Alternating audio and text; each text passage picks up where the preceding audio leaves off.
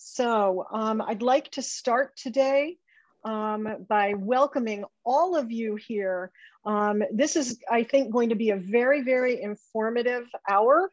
And I'm looking forward to hearing from um, all of our presenters today. We've got a wide range of federal agencies represented, and um, we're going to move through things pretty quickly, uh, but we will be able to get um, presentations back to you and, um, and local and regional contact information for these agencies.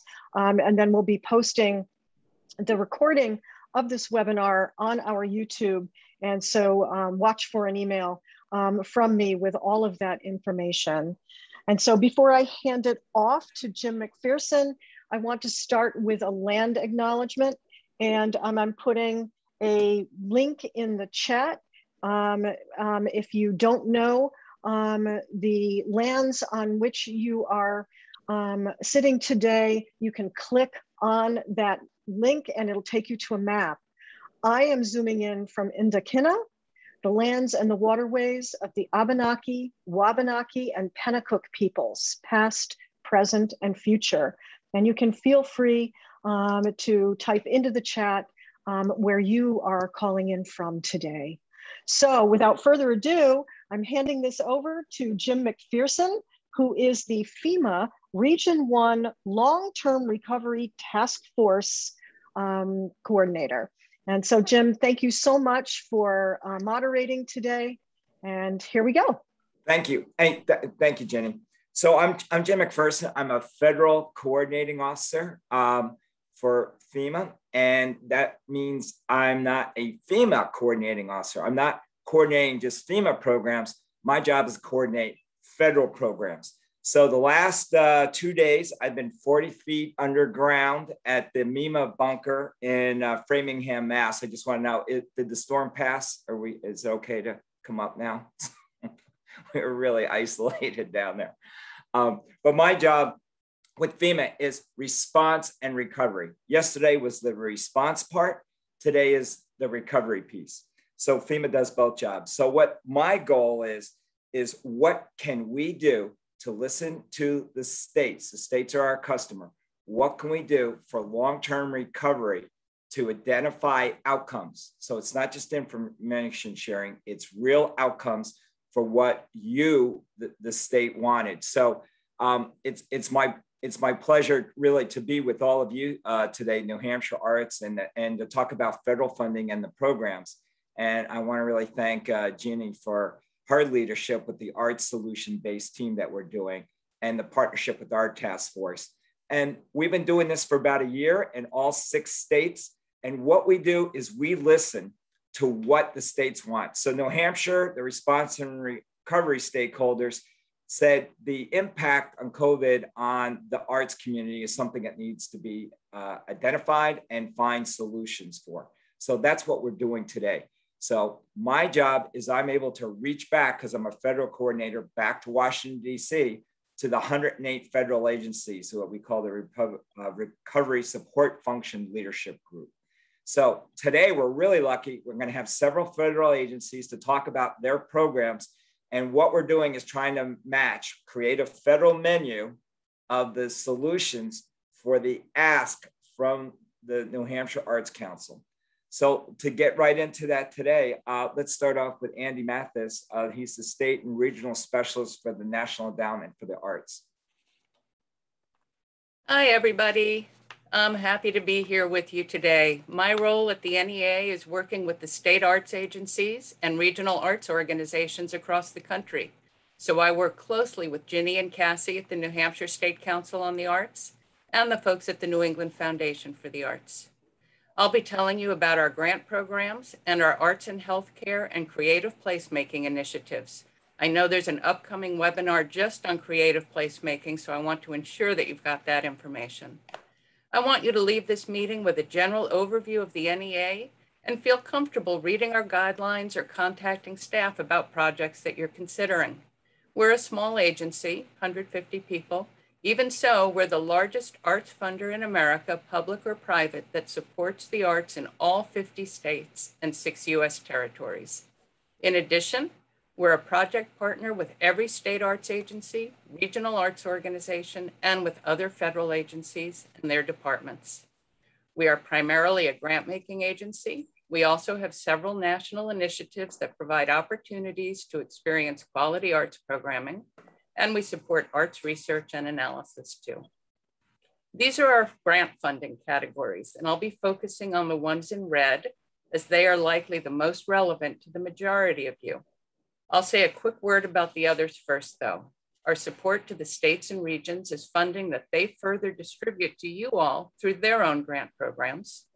And our research grants are for data mining and analysis of huge data sets related to the arts.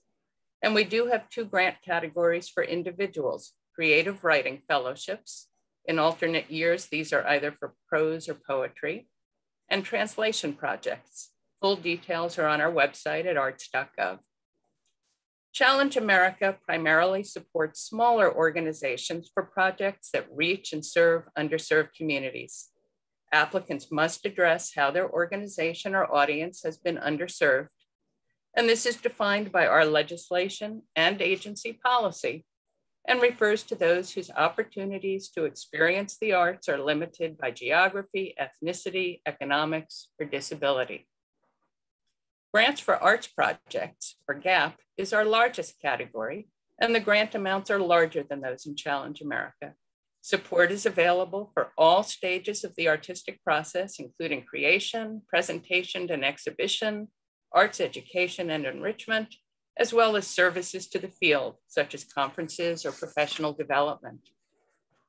Our Town is our creative placemaking grant category. It focuses on strengthening local communities through arts and culture, and it involves deliberate integration of arts, culture, and design into these efforts. Successful Our Town projects ultimately lay the groundwork for systemic changes that last, and that's why we require a partnership between a nonprofit and local government. Exploring Our Town is a fantastic database on our website of about 80 previous Our Town projects that you can study to learn more about creative placemaking and what made those projects work. You'll be able to sort the stories based on size of community or by project type, such as asset mapping, community design, cultural districts, or public art. For all the projects I've talked about so far, these are the eligibility requirements for applicants. You've got to be a 501c3 or a unit of state or local government, or a federally recognized tribe or tribal community, a school district, or a nonprofit college or university. In my allotted time, I'm only going to focus on our creative placemaking and arts and healthcare national initiatives, but we do have plenty more. For example, I have three of our education initiatives up on the screen now, and perhaps some of you or your family members have participated in some of these. Our Mayor's Institute on City Design convenes mayors and design experts to solve the most critical planning and design challenges facing their cities. They address issues such as downtown and neighborhood revitalization, transportation planning, creative placemaking, Main Street and commercial corridor redevelopment, and affordable housing, among others. And our partner on the Citizens Institute on Rural Design is the Housing Assistance Council. The program funds small towns and rural and tribal communities to host a local design workshop. The workshops bring together local residents and leaders from all sectors to work with design, planning, and creative placemaking professionals to address the community's pressing design needs. Moving on to arts and health, our Creative Forces initiative is a partnership with the US Departments of Defense and Veterans Affairs and the state and local arts agencies. It seeks to improve the health, wellness, and quality of life for military and veteran populations exposed to trauma and for their families and caregivers. Creative arts therapies and visual arts, music, and writing are placed at the core of patient-centered care at military clinical sites throughout the country. The mask you're looking at as part of the visual arts therapies, blank masks are provided and the service people are able to express their feelings about their experiences through their artwork. Sometimes they're able to bring up things this way that they would have a harder time initiating conversation about in more traditional talk therapy. The Sound Health Network is a partnership with the University of California, San Francisco, NIH, the Kennedy Center for the Performing Arts, and opera star Renee Fleming, the center's artistic advisor. The network was established to promote research and public awareness about the impact of music on health and wellness. And since 2011, the NEA has convened a federal interagency task force on the arts and human development to encourage more and better research on how the arts can help people reach their full potential at all stages of life. Task force members represent multiple agencies across federal government. Our program guidelines are on the website. If you have questions once you read them, feel free to reach out to our program specialists. We love hearing from prospective applicants and are eager to help you be successful. And you can sign up for a variety of newsletters at the bottom of our homepage. And with that, I'll say thank you very much and look forward to responding to questions at the end. Thank, thank you, Andi. Um, and then we'll, and then we will hold the questions in, until the end, um, but you can also put them in the chat too. Uh, next up is uh, David Cohen, uh, Economic Development Specialist with uh, EDA. David? Great, thank you very much.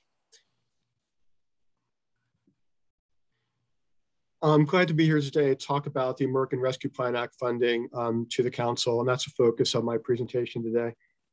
Briefly, Economic Development Administration is part of the Department of Commerce. We focus on increasing America's global economic competitiveness. We support community-led economic development, and we help communities develop resilient and agile local economies. We're broken down into regions. The Philadelphia office covers New Hampshire, and I'll be talking from that perspective today. Um, this website is key, eda.gov slash ARPA, that talks about the rescue plan programs. There are seven different initiatives, and I'll be talking about two of them today. Travel, tourism, outdoor recreation, which is $750 million, and economic adjustment assistance, which is our broadest program, the most flexible program for $500 million. The total funding under ARPA, the rescue plan, is $3 billion. Under travel, tourism, outdoor recreation, the states are getting grants and also territories totaling $510 million. New Hampshire is getting $8.3 million of that. And with that $8.3 million, New Hampshire is in the process of applying for that money, and they'll get to determine with some degree of latitude about how to spend that money. So I have no idea um, what their proposal is going to say because it's not been submitted yet. For competitive, there's $240 million available. For travel, tourism, outdoor recreation, the general range per award is between half a million and $10 million. Generally, there's 80% EDA funding with 20% match. Um, and moving on to economic adjustment assistance, that's $500 million. I'll talk more about that in detail, but the general range of awards in that is 500,000 to $5 million. And again, generally there's an 80% EDA funding with a 20% match talking about the um, Economic Adjustment Assistance Program with a little bit more detail, um, we have a wide range what we can offer that money for. Um, the money can be for both construction, non-construction projects, including public works and infrastructure, technical planning, workforce development. We encourage collaboration, also long-term visioning and projects. Projects have to be supported by a local government or a state agency. And again, I mentioned before what the awards are up to. I won't go into detail, but out of that $500 million, $200 million are for coal communities.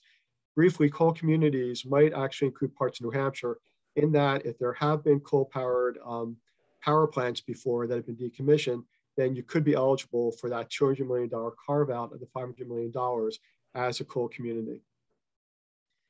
With the investment priorities, all applications have to address at least one or more investment priorities. Um, by its very nature in that this is recovery money, ARPA, it will address the second one, recover resilience. Equity is our new focus. It's our main focus, our top focus.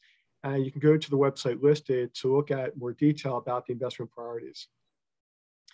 Before applying, I encourage you to go to the website to read the notices of funding and the FAQs. And that's key. That gives you instructions, guidelines, goes into levels of detail. And the FAQs answer a wide range of questions for the different funding opportunities. For the applicant types, oftentimes there's confusion. We cannot give funding awards to individuals or for-profits, including pass-throughs of for-profits. We generally fund nonprofits, units of government at the state, local, and county level, and um, organizations of higher education, and also um, tribal communities as well. We encourage you to contact EDA, have a conversation before you develop your application so we can guide you and talk you through, and also initially say, is this something which might be viable or maybe you're better off identifying other funding sources as well. Grant applications are made via grants.gov. Before you apply, you have to have a number of different systems in place, including DUNS, login.gov, SAM.gov, and grants.gov. And that takes time. So I encourage you to um, start to go to those websites and start to apply for those systems in order to be able to apply via grants.gov. For economic adjustment assistance, I covered some of these before, but number three, the matches have to be committed, available, non-encumbered, and not include federal funds. And also the grants have to be aligned with the CEDS, a comprehensive economic development strategy. If you can't find your CEDS, contact us. We have resources to identify the CEDS as well. Um, also, we're not allowed to support certain projects. We cannot do housing, we cannot do casinos gaming, and also other ones listed as well. And also, they have to be, again, as I mentioned before, tied into our investment priorities. The next steps to apply are, again, read the funding notice um, and reach out to the Philadelphia office. The contact for the state is Alan Brigham. His contact information is in the slide deck and it's on the screen right now. And also, again, go to eda.gov slash ARPA for a wealth of information about the funding opportunities, recorded webinars, slides, FAQs, support tools as well.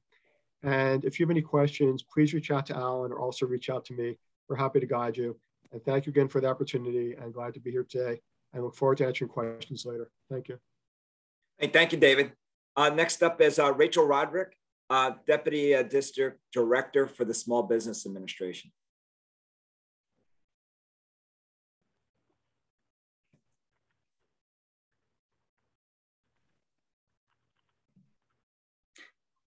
Hi, everyone. Good morning. Thanks for having us here today. So as, um, as was said, my name is Rachael Roderick. I'm the Deputy District Director for the SBA in New Hampshire. Um, just want to get to my slides here real quick.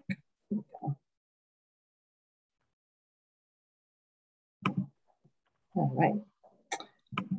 So the SBA helps businesses in a variety of different ways. Most people are well aware that we guarantee business loans. So that's our usual course of business um, when we're not in the disaster mode is that we work with our participating lenders to get capital to small businesses, either to start, grow, or expand their businesses. We also have a network of um, resource partners that help us provide free business advising and training to small businesses in all different topics.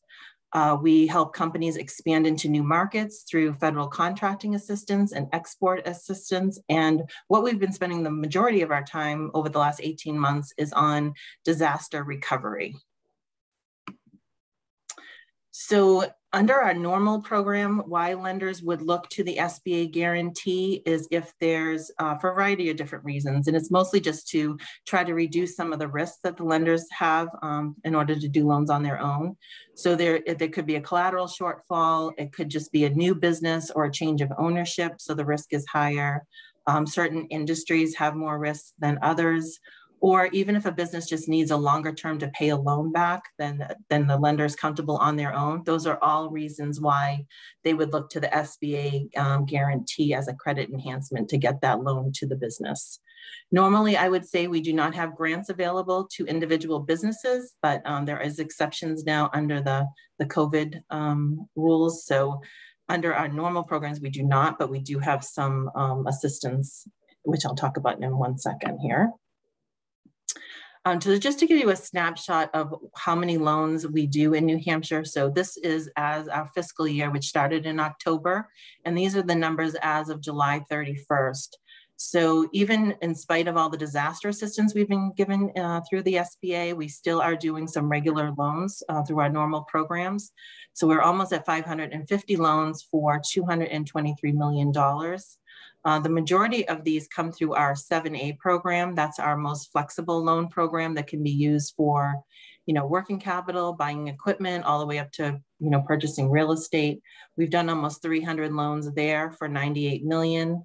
Um, our 504 program, which is very active because of the low interest rates, this finances um, basically real estate transactions and it's a partnership with our participating lenders.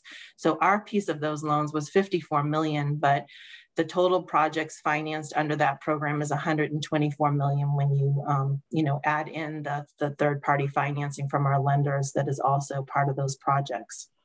And then we're really excited that our microloan program has got some traction. Um, we've been trying to expand that for the last few years.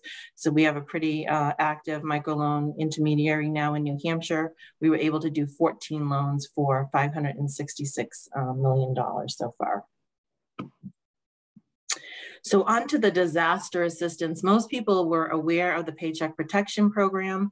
Um, we were able to help for-profits and nonprofits under this program, which is not our usual um, customer in SBA. We know, mostly deal with for-profit entities, but these, these programs were open to nonprofits as well. Um, we're mostly looking at forgiveness now through the through the PPP program because the loan has ended. It ended in May, but SBA is very focused on helping businesses and our lenders through the forgiveness process, either directly through the, the lender or we also opened up a direct forgiveness process for those smaller loans up to 150,000 where businesses can can apply very easily in less than 10 minutes and the lender can just review it really quickly and get those loans forgiven. So which is really important because we want to get those um, you know give some relief to those small businesses so that they're assured that those loans are going to be forgiven and also get capital back um, to our lenders as well. So this program, we did 41,000, over 41,000 loans in New Hampshire for $3.7 billion under that program, which to put that in perspective is about 25 years of our normal lending program that we normally do. So very um, grateful to our lenders who really stepped up and got those loans out to businesses to help keep those people on the payroll um, during COVID. One program that's still available uh, is the COVID EIDL program, and that's the Economic Injury Disaster Loan Program. This is a direct loan available through the SBA. Uh, we've done over 11,000 of these in New Hampshire so far. It is still open to new applications, and it is open to both for-profits and nonprofit entities to apply. And really, this is considered to be the long term solution. It's a 30 year term, it's for working capital to get businesses you know that long-term solution at a very low interest rate. It's 3.75 fixed for businesses 2.75 fixed for nonprofits. Um, there's no penalties to pay it off early so you can get it um, have a pretty generous um, deferment period on that, so no payments due right away. So it's definitely something to look into. If you have not looked into it, um, we encourage you to reach out to us to do that. Um, it does also include some grant uh, money targeted advances for those businesses or, or organizations that are located in low income areas and can demonstrate that they had at least a 30% reduction in revenues.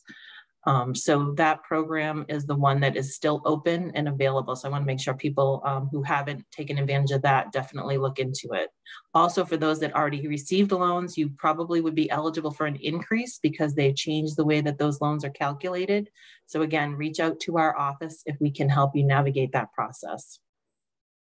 One of the other exciting programs that SBA rolled out is the uh, Shuttered Venue Grant Program. This recently closed on the 20th of um, August, but we were able to do 55 of these awards uh, in New Hampshire for $28 million. And this really allowed us to work with the arts industry pretty closely. We did a lot of small independent theaters, um, you know, some movie theaters and anything, you know, really live venue operators. Um, so it was a new uh, customer for SBA to deal with. We were able to visit some of them um, and help them out both with the PPP program and the, the Shuttered Venue Grant program. And really, you know, we're all about partnerships in SBA, and these are, uh, this is a snapshot of our resource partners, which we have longstanding relationships with all of these entities. And they really helped us um, help small businesses navigate not only our programs, but all of the programs that are available uh, through the state and other entities to help businesses through all of this. But they're also around for the long term and around for businesses just in general. Uh, we have SCORE, we have the Center for Women in Enterprise, that is our Women's Business Center and our Veterans Business Outreach Center. And then we have the Small Business Development Center. All are staffed um, and have got increased staff capacity because of COVID to provide free business advising to small businesses. So strongly encourage anybody here that has a business that doesn't have a relationship with one of our partners to reach out to them. They've also done an amazing job of doing all kinds of online training um, to navigate all of these different COVID programs, but also just on a lot of business topics. Um, they're really a great resource um, and we really couldn't have gotten through the last 18 months without them.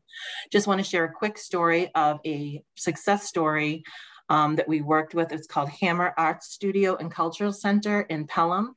Um, and the owner there worked with one of our SCORE mentors on a variety of different things. Um, she has a, a, cultural and arts center that does child, she started out doing child art classes, but she expanded into culinary classes and camps and, and all that kind of stuff. Um, she was able to work with our SCORE mentor that helped her with strategic planning, um, lease negotiation, um, all of those kinds of things where you want to have that independent kind of advice uh, from somebody outside of your organization that can kind of walk you through things and give you that bird's eye view of that. She was also able to pivot during COVID and offer to go art projects, um, which really expanded her market uh, and created another revenue stream for her. So this is these are the types of assistance that you can get by working with one of our resource partners. And then just a few, I just, this is mostly, I just want to share this so that you'll have them in the presentation. I'm not going to spend a ton of time here, but the SBA does offer, um, you know, we do highlight different special initiatives. We have our Small Business Week Summit coming up uh, September 13th through the 15th. We usually do a big celebration in May where we have local awards. We're doing a virtual event um, this, this year because of everything going on. But we also celebrate veterans with Veterans Small Business Week. We do a quarterly um, Boots to Business session. We encourage shop small with Small Business Saturday, and we just do a variety of different outreach to help rural areas, youth entrepreneurship, uh, work very closely with towns to get information out to the small businesses and business associations as well. also partner with the state on a couple specific programs um, and, and try to collaborate as much as we can on you know, just getting information out to small businesses and resources. And then just want to leave you with our contact information. So this is everyone in our staff on how to get a hold of us. Uh, the best thing here to do is go to our website, which is sba.gov slash nh. And at the bottom right, you can join our um, email blast. And that's where we are trying to update people on all the programs in SBA that have been rolled out, any updates, also, we have a section called What Others Are Doing to Help. So we try to keep an ear out for what other associations and other economic development groups in the state are doing to help businesses and highlight those in there as well. So definitely encourage everyone uh, to do that and also reach out to our office if we can be of any of assistance. And the best way is to use that email address there, which is New Hampshire spelled out underscore DO for district office at sba.gov. And we appreciate the opportunity for being with you today. Thanks for having us.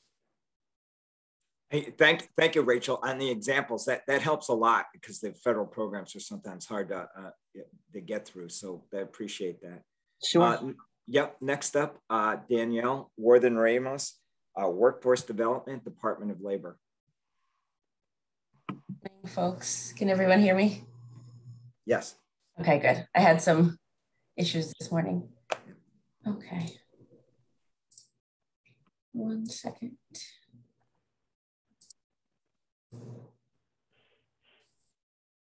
Okay, so I'm coming from the US Department of Labor Employment and Training Administration. Um, we have two types of funding, which we call uh, the formula side, which is based on a formula that Congress um, creates at the beginning of every year. Um, those are our WIOA funds, which are called the we, Workforce in Innovation and Opportunity Act and Trade Adjustment Act funds. Um, and we fund those to state workforce agencies on an annual basis. So these funds are administered by the state to fund their local workforce development system. So New, New Hampshire gets an allocation from our department um, to fund their, their workforce development system, which we'll talk about in a little bit. Um, so through this funding, they fund what we call American Job Centers, or many of you know them as one-stop centers, um, which serve as the hub for service provision of our adult dislocated worker and youth employment programs.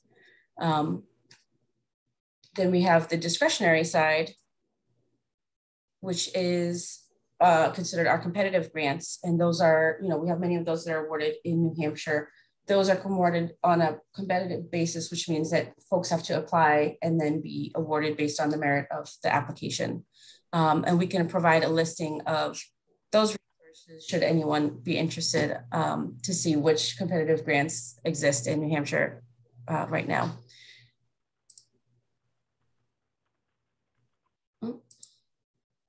So for the formula funded grants, uh, New Hampshire has 12 American Job Centers uh, that are located throughout the state. They have many comprehensive centers, which means that they have access to a number of different partner programs. We have through WIOA some required partners. So you'll see uh, vocational rehab, adult basic education.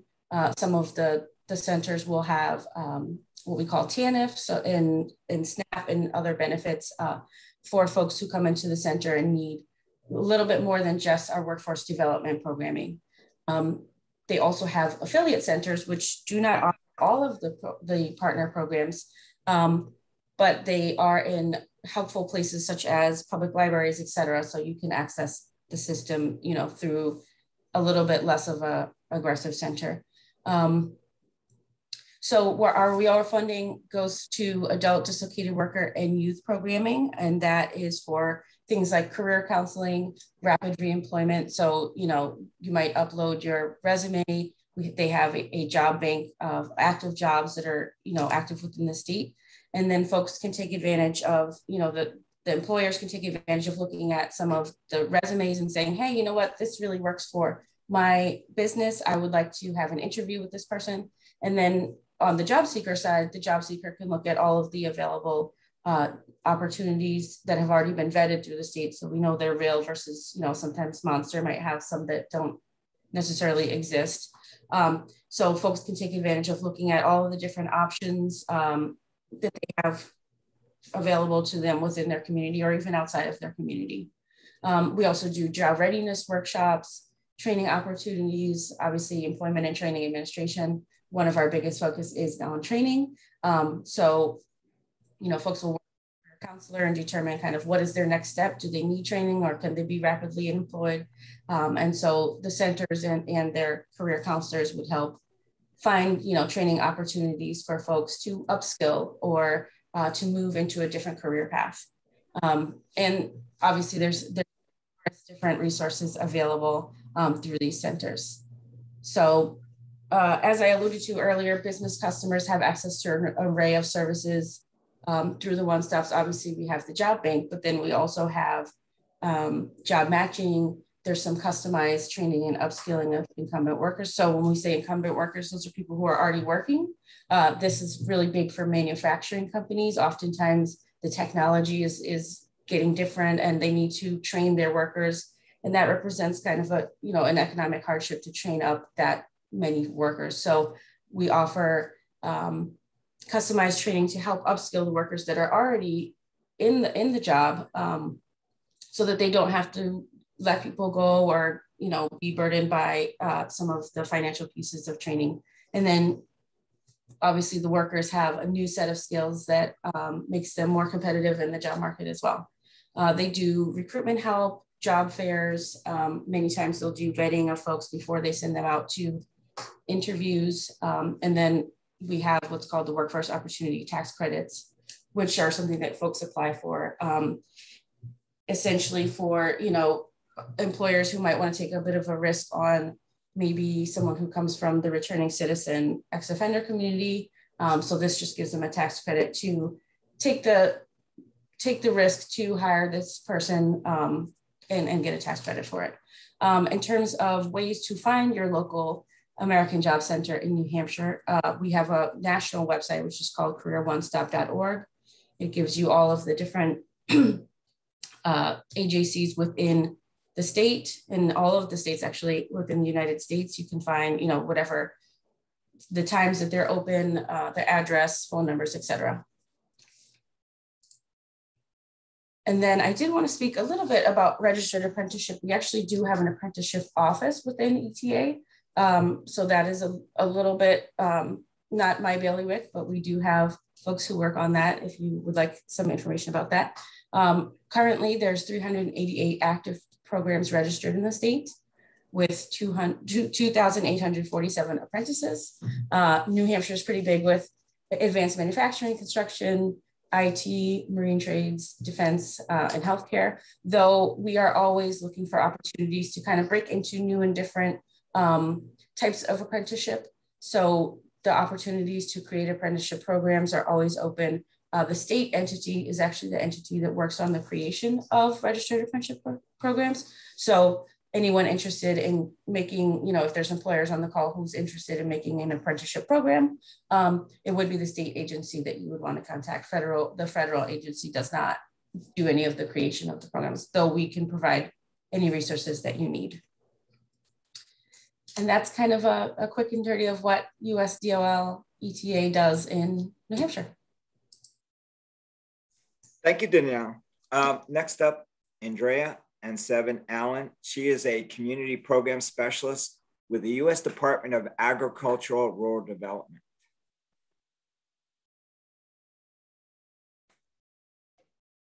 Hello, everyone.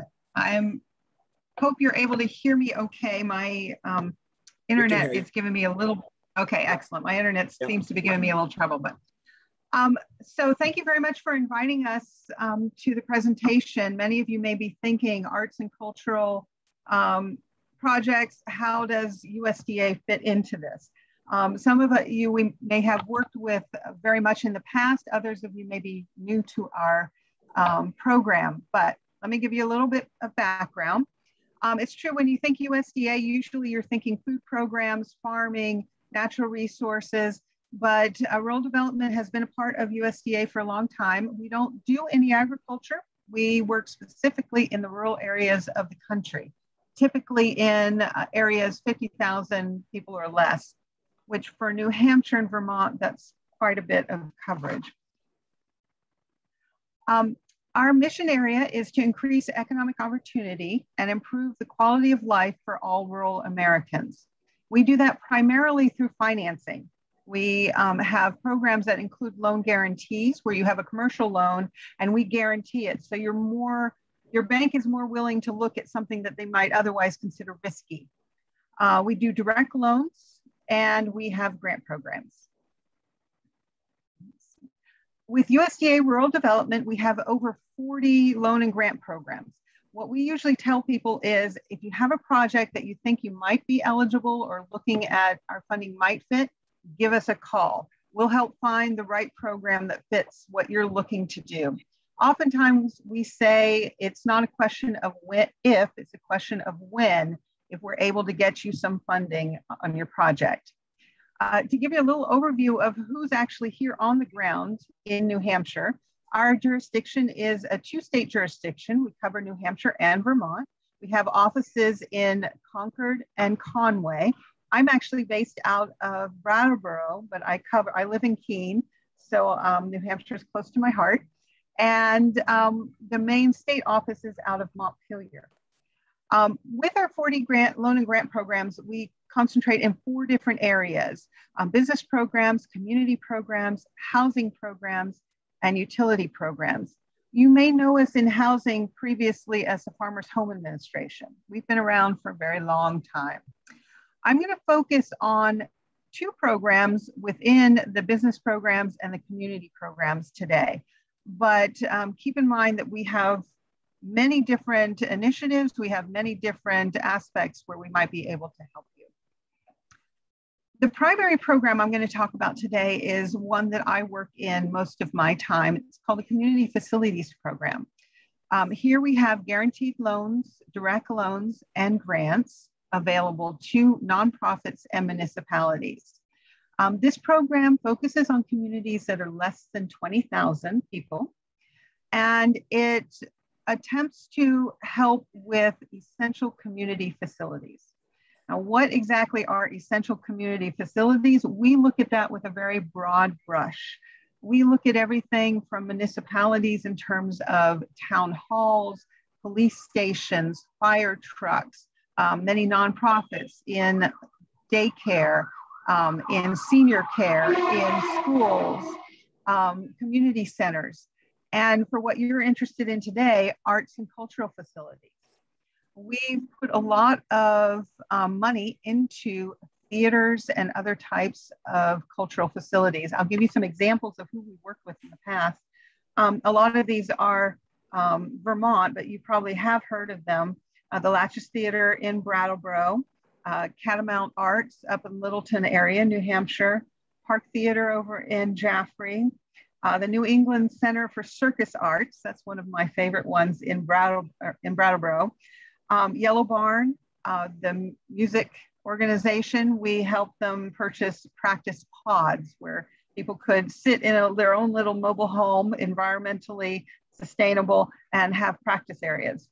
Uh, we've put money into Strolling of the Heifers, Paramount Theater in um, Rutland, and uh, many different areas.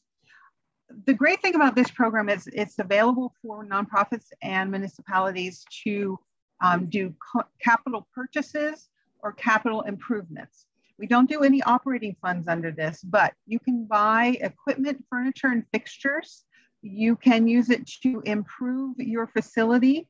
Uh, we've helped with elevators. We've helped with um, sound systems and lighting systems. That has been a big one that we've looked at. We've helped with um, replacing roofs. And we've also helped with expanding into solar.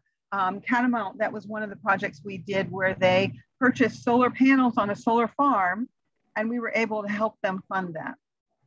The grants in this program are matching. It depends on the median household income of your community that you're serving. And it can be used in combination with our direct loan program, which right now is at 2.25% and can be extended up to 30 years depending on the project. And it's a fixed rate. Um, or we also partner with a lot of other agencies, either state or federal agencies and other organizations to do these projects. We are, we're happy to work together with other partners on these projects. Um, let me hit the next one that I'm going to focus on today. Uh, in the, our business and cooperative programs, we have a rural business development grant. This is available for nonprofits and municipalities again um, for communities at 50,000 and under. So that um, widens the scope that we can fund there. This program is primarily to assist small businesses retain or grow their um, positions to keep jobs. And this, it may seem a little odd from the arts and grants or, or arts and cultural area, but we have done it um, in New Hampshire, primarily I can think of with Hannah Grimes Development out of Keene. Uh, we provided funding to them to do um, workshops for their small businesses, their art artists, artisans, um, to develop their markets, to learn how to sell um, to a wider audience, and to increase their productiv productivity and um, their marketing um, um, tools. Uh, this program will provide technical assistance. So we'll pay for a nonprofit to give uh, workshops or a program of training to small businesses, small artisan businesses. Um, it will also provide equipment um, to nonprofits and municipalities.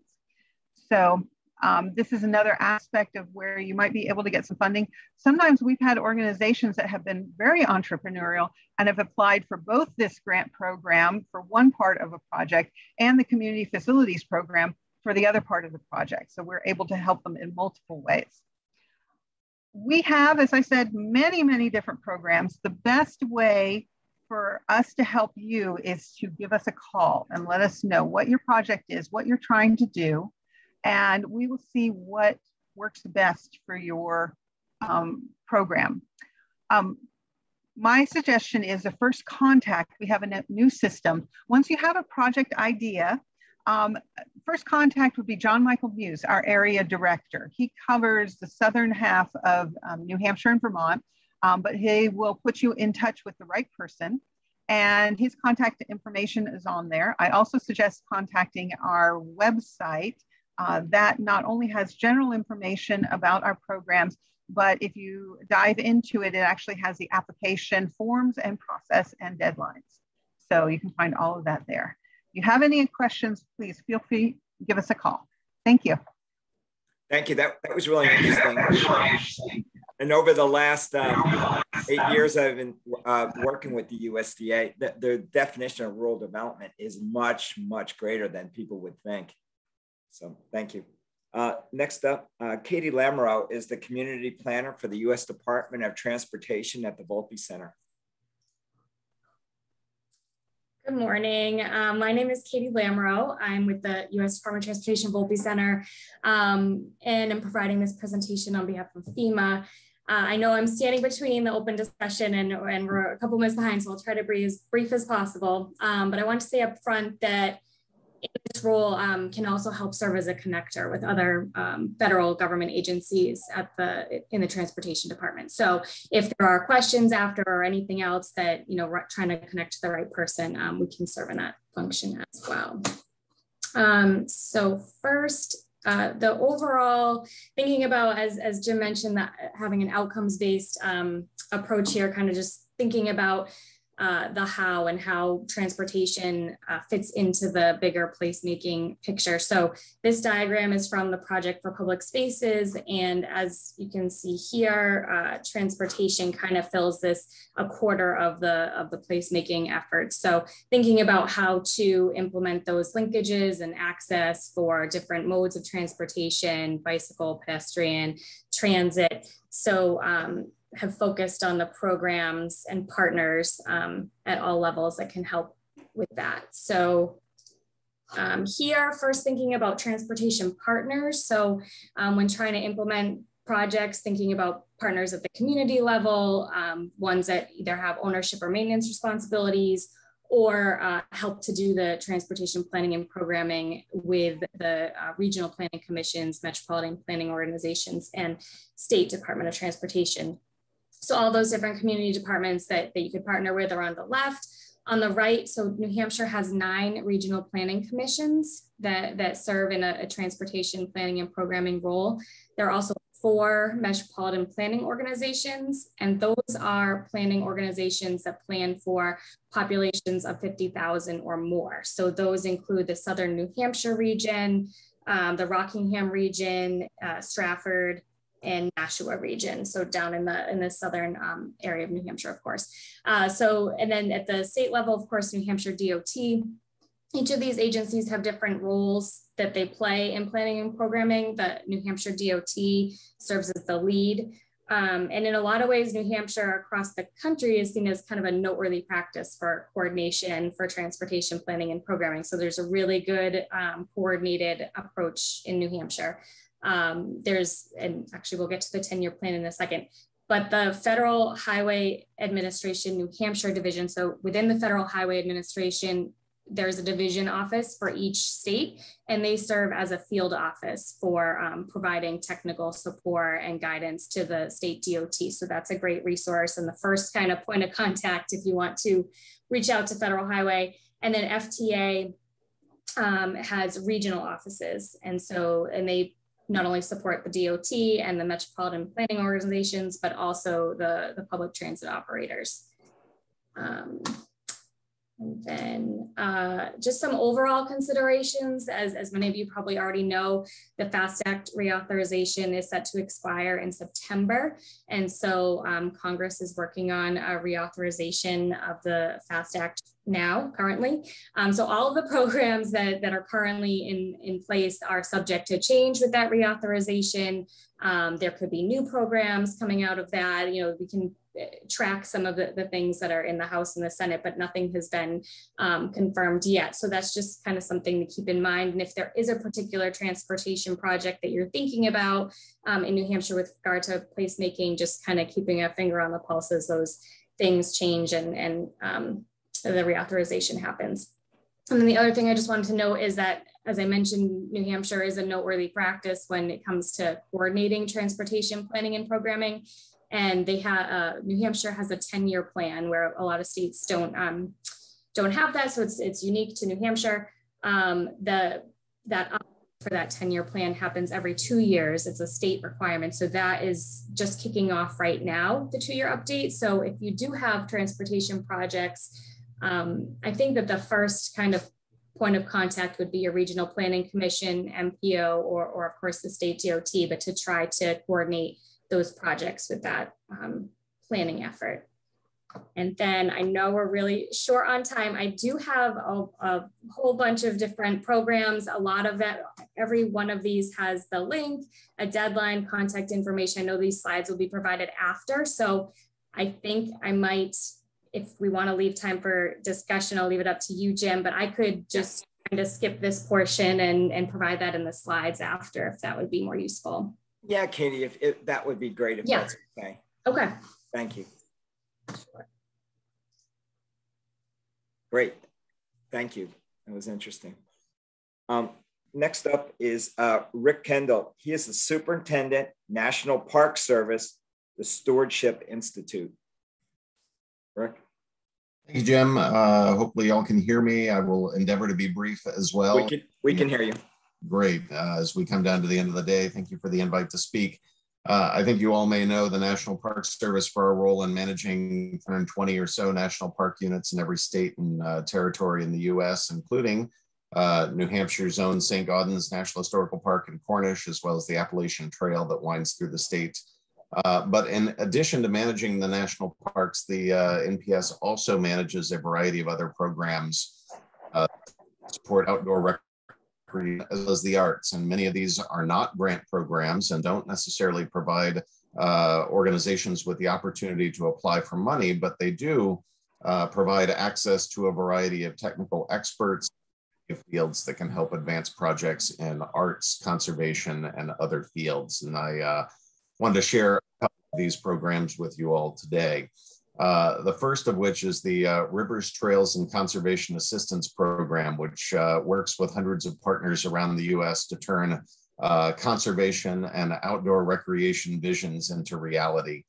Um, our uh, RTCA specialists, of which we have them based in both New Hampshire and Vermont, really help with aligning project planning, design, technical expertise, and facilitating initial meetings and scoping um, and depending upon the scale of the project can uh, invest up to four years of work in uh, developing and implementing a project with uh, uh an applicant or a partner. Uh, our teams help with things like community engagement, visioning and planning, uh, developing inclusive access, leveraging resources from others with shared goals, and the list goes on and on. our RTCA projects typically have a conservation or outdoor recreation focus, but increasingly uh, have an arts and culture focus as well. Uh, the picture on the screen right now is at uh, Boston Harbor Islands with uh, an outdoor art installation that also helps to uh, uh, interpret the landscape. Um, and here is another one from Ellis Island in New York Harbor, where an artist made large blown up photographs of, of immigrants and placed them around the, the hospital building at uh, Ellis Island, which is uh, largely a ruin at this point. Um, and throughout the Northeast, our, our staff have been engaged in dozens of these projects that have incorporated arts creation or arts display uh, as a major goal or as an indicator of success. Uh, our communities, nonprofits, government institutions, tribes, uh, and others may apply for RTCA assistance, and that's through an call for proposals that occurs annually in the spring. And you can find more information on that at the website that is on the screen here, uh, nps.gov slash RTCA. Uh, another program that the National Park Service uh, uh, uh, is involved with that may be of interest is the Historic Preservation Tax Credit Program, which is a uh, actually a partnership between the National Park Service, the Internal Revenue Service, and the state historic preservation offices, of which each state has one, including New Hampshire. Um, knowing that the inventory of historic buildings in New England is high, and in order to incentivize preservation of historic buildings rather than tearing them down uh, in favor of new construction, uh, the uh, tax credit program offers a 20% income tax credit for the rehabilitation of uh, income producing buildings, which are certified as historic structures, and the rehabilitation meets DOI standards. And over the last five years, uh, New Hampshire, I believe, has seen uh, 10 of these projects valued at $81 million uh, in tax credit eligible renovations work through this program. Uh, it can be used for a variety of spaces, including art studios, galleries, uh, and other arts purposes. Um, and then finally, uh, just uh, a little bit about uh, St. Gaudens National Historical Park and uh, partnership opportunities there.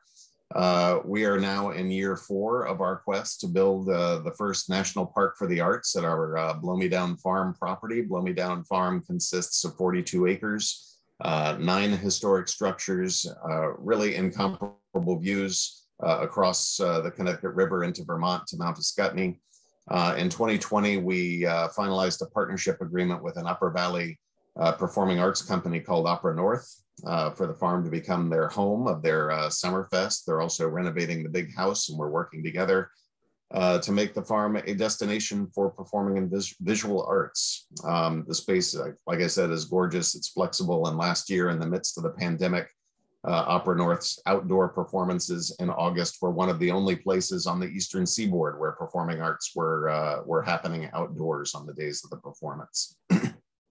Uh, we have other buildings and other partnership opportunities uh, available for organizations that might be interested in becoming a part of this National Park for the Arts concept. And so please feel free to uh, shoot me an email if you'd like to learn more. Uh, my email is down here on the bottom of the page. Um, and you can also reach me through uh, the contact information that I'm sure Jenny will be sending around. And at that, I will yield the floor and thank you everyone. Thanks, Rick. That was that was interesting. Um, I'm going to pass over now to Jenny, and she's going to run the uh, Q&A. Thank you. Thank you all so much. Wow, this is incredibly informative. And um, I look forward to getting lots of information out to our participants today.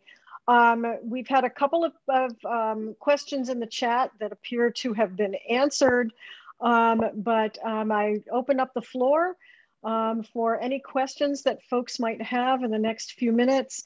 Um, you may want to use the raise hand function, which is under the reactions button at the bottom of your screen.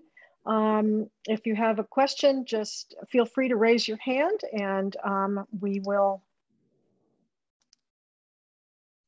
I've got two screens worth of people, so I'm gonna be bopping back and forth between them, um, looking for raised hands. and I don't see any. I know it's a lot of information to absorb in this last hour, um, but um, a lot of really, ah, Russ.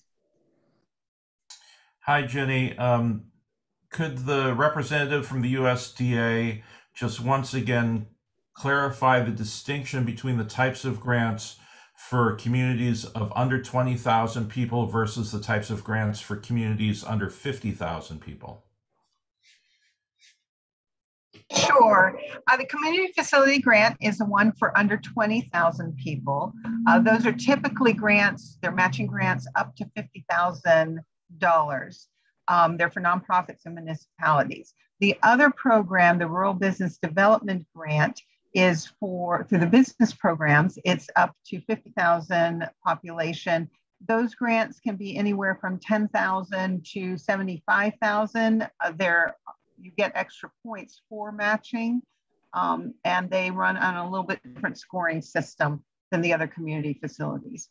Did that answer your question? Um, sort of. I understand the one under 20,000 includes facilities. Are there facility capabilities for grants over uh, under 50,000 or is it a different type of programming grant you're applying for? It's it's a different type of program. The community facilities are capital purchases and improvements. So um, buildings, furniture, fixture, equipment, um, parking lot renovations for ADA, that sort of thing. Um, the business development grant would be primarily for technical assistance, um, purchasing computers for um, um, a business program, signage downtown um, to be able to get your tourists to the right places, to increase business for small businesses. Does that help? Yeah, that's helpful. Thank you. Okay. Thank you, Andrea. Thanks, Russ. Um, I see April's hand is up. Hi. yeah, so um, I'm a representative of a regional arts council, Arts Alive, and um, we have a project that is a, you know, like an arts corridor development planning going on. And there's so much overlap with so many of these programs that were described here with what you know with what we're doing because of the just the diverse nature of it everything from you know maybe getting a parking structure so that we can open up space to um, you know actual arts programs and getting artists in that space so I'm just wondering, given that there are so many programs you described, and I found I heard a lot of overlap with our needs, what's our best approach? That's a really good question, April. Like, is there um, a, is there a one person we that you know can help us sort through this because or or not? I think this is Andi. I think you're going to have to talk to all of us, um, and we can help you figure out which aspects of your project are the most relevant for our grant programs. Our Our Town folks are going to be your best bet at our agency, and there's a special Our Town mailbox, OT, at arts, arts.gov. And and our our town folks work with the USDA rural development folks all the time at headquarters level. So we're very familiar with their programs and we have a good collaborative working relationship so we can all get involved together. Oftentimes, April, if you have a good write-up of what you want to do, you touch base with many of the different um, organizations that may be helpful. I know that John oftentimes will convene sort of like a funders meeting to all meet with you at the same time so you can hash out what might work best for different agencies. Thank is, you. Is this John Muse? Yes. Okay. Yes. Thank you, Andi and Andrea. I appreciate that. So Lucinda has a question in the chat. And I think Lucinda is referring to the Save Our Granite Stages language that was in the most recently enacted state budget. Um, that grant program is currently unfunded, um, and we don't know if it will be funded, Lucinda. But even if you were to receive a grant through that program, it would not prohibit you from applying for a direct NEA grant.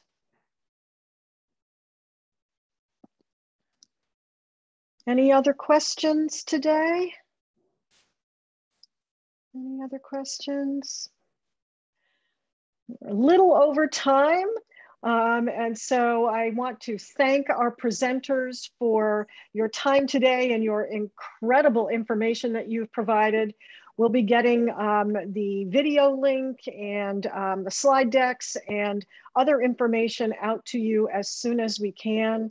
Uh, many thanks to Jim for moderating um, our, our webinar today. And um, feel free to reach out to us. Um, save the chat before you go. Um, Lisa Burke McCoy of our staff uh, posted a couple of links and some information that could be very helpful. And um, thank you all. Any closing words from anyone before we say goodbye? Okay. Thank you, everyone. Take care. Enjoy your day. Bye-bye. Thank you.